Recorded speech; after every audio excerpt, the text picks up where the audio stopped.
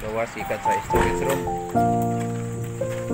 Ito po yung ah, sinasabi natin na yung milyonaryo sa pagtanim ng Bato ng storage. Pitsay at saka bato. Storage, 3 pag-harvest ni nga bato. ang ginagawa nila ay yung mga harvest nila hindi nila magka. ibibenta agad tapos yung mga harvest nila ay storage pa nila para dan saya.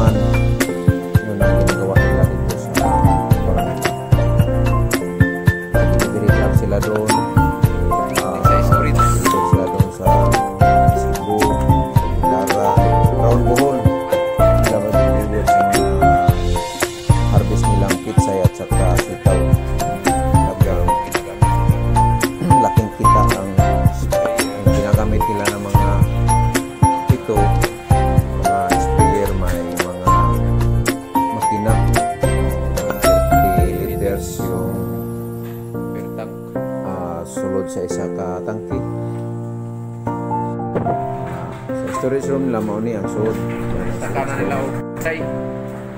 Harvest. pero tanan nila Tawag ni Kinulo. tang harvest ng pitsay Kaya diferensya rin eh. sulod nila sa styro sa di pa nila ipasok sa styrofoam galing sa harvest ah, ilagay muna nila yung Kapit na mo negative no? ah, harvest nila 2 Kukunta ka tayo hours para yung mga basa ah, medyo matuyo pagkatuyo na yan Pero bagag jacket. tapos nila ilabas galutin ipasok sa styro yun ang ginagawa nila sa Yung mga harvest styrofoam nila.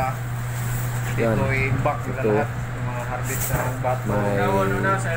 Pitsay. Ha? sitaw na lang sa loob Abak mo sa daan. O sa paghon. styrofoam. Tapos ginagawa nila pinagsak nila mga 3 to 4 days, gal 5 days galing sa Ah, pag-harvest siya bago no? ma-deliver para umabot Dito 1 siya ton yung ma-deliver nila patungo na sila. At saka mga pitsay, dito nila ilagay. Mga litos, mga Chinese pitsay. Dito nila ipasok bago nila i-deliver sa doon sa na Taiwan? kasi hindi naman nila i-deliver ng mga sampung styro lang kaya kailangan nila yung dami kasi Kani, yung gi-harvest kailangan ning sa mga batong. Diya pas pizza 14. Is, ilarang October i-sort sa storage 10 room. harvest binta pa nila yun sa Deliver na siya ugma. ah, hindi pa yan Wa pa maunsa, eh, bisa. binta agad sa storage room Harvest, parang hindi masira yung pizza yung temperature 14 sa na sa loob nag-harvest pero tuskig Sa- itong kayo ang batong. Storage ay nasa yung 5 sekreto degree nga yung taon pag ang lamig ang lamig talaga yung nasa loob nakapasok dyan mga isang oras siguro hindi na siguro makaya na maka- Grabe, bugnawa ring sod. ng isang oras aso-aso ba eh. Tabako. Yung sinasabi ng milyonaryo sa Pitsay, pakita Mura may gaso, ang gaso lagi jo ha. na Auro ma pa gaso? gamit nila talagang ah, gastos pero makikita din Mga temperature. ah, 5 degree yung ah, lamig yung degree Celsius yung ang Ah, sa loob ng storage. Ito po yung area nila sa